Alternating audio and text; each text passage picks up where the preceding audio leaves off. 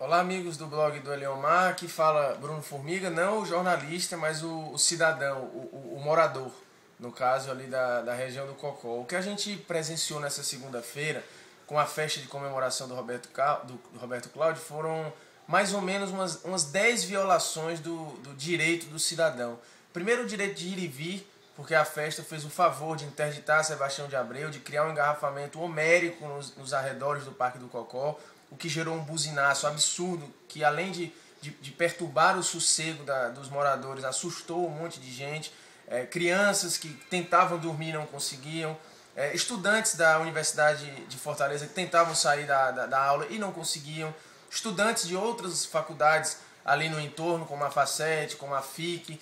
Enfim, pessoas que queriam transitar perderam esse direito. Esse direito foi limado dessas pessoas. Assim como o direito ao sossego, ao descanso, ao repouso de todos os milhares de moradores que moram é, no entorno do Parque do Cocó. É, a festa, que eu não sou contra nem sou a favor, mas acho que deveria acontecer em outro lugar.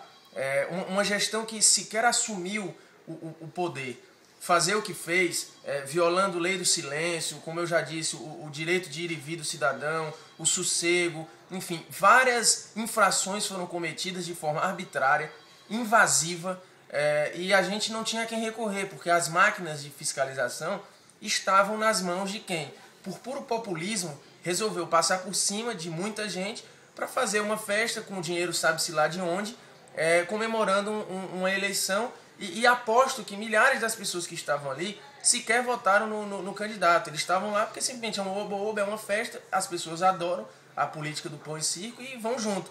Então, foi uma segunda-feira para se esquecer. E acho que tirar algumas lições.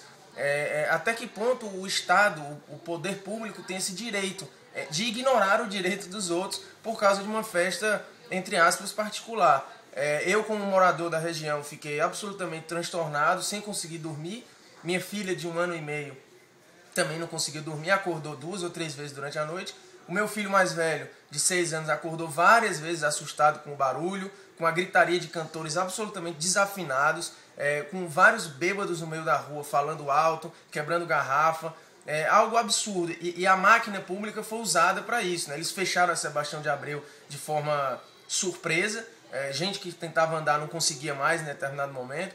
Então fica aqui o meu, o meu, a minha reclamação pública de algo que, que deveria ser é, melhor pensado das outras vezes. E que isso seja deixado claro. Aqui não é uma discussão partidária. É, eu, como cidadão, não votei nem em Roberto Cláudio, nem em Elmano. Então não prefiro nenhum nem outro. Eu prefiro o meu sossego, que eu simplesmente na segunda-feira não tive o direito.